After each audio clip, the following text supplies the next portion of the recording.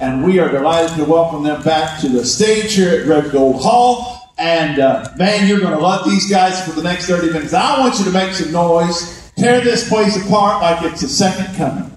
I want you to say hello to these guys from Reidsville, North Carolina. How about it for the Down East Boys?